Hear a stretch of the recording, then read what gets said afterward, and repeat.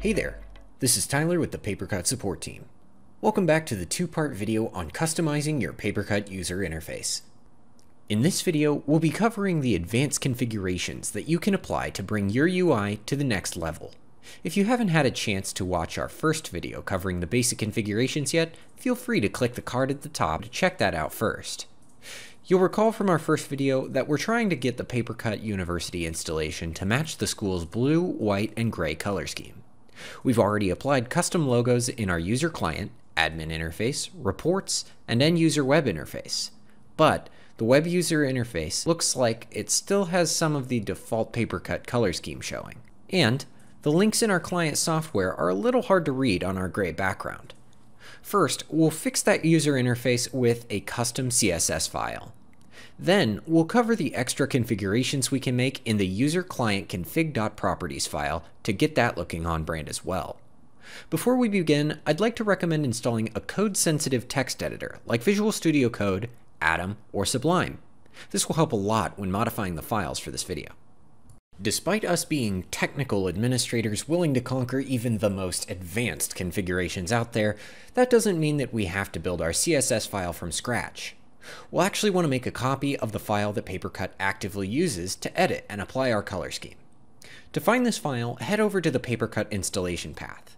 Within the installation path, click Server, then Temp, then Web App.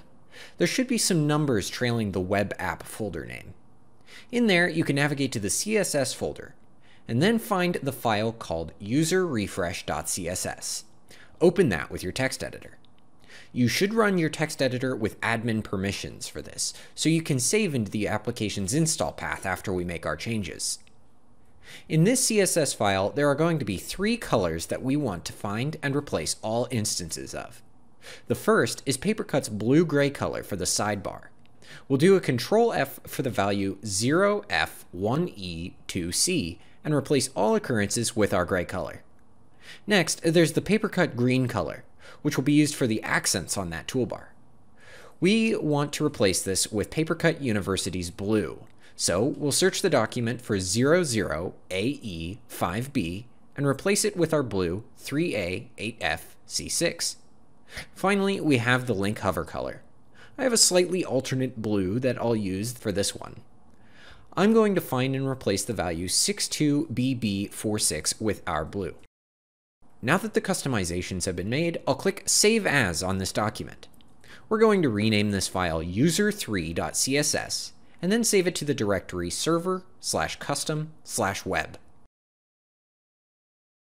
Next up is our user config.properties file. Back out to the main PaperCut directory. This time, we'll actually head into the client folder, followed by the OS type of your user client machines. In this case, it's the Win folder. Here, we should see a file called config, or if you have file extensions enabled in your File Explorer, config.properties. Open this with your text editor, again using admin permissions. Now we'll scroll down and find the values background color, text color, link color, and link hover color. We've already set our background color, and the default red is great for the negative balance value, so I'll be changing the text, link, and link hover to something new, while leaving the rest default. I want my text to really pop with the gray background, so I'm going to set these two values to white. I think that the link hover color would be really cool in our blue color, so I'll add that as well. In this case, we're just going to be using the hex value without the leading hash mark, since everything after the hash mark will be commented out. On that note, we should uncomment the color configuration so that the client can read our changes. We'll save and we should be good to go. Now, our user client is looking great with the white text on the gray background. Let's check out the end user web interface to see our CSS changes. We'll give this a quick login and see that our toolbar now has the Fighting Platypus blue as its accent color, as do all of the buttons and controls. Now, our user interfaces are looking great and truly fit our organization's custom color scheme.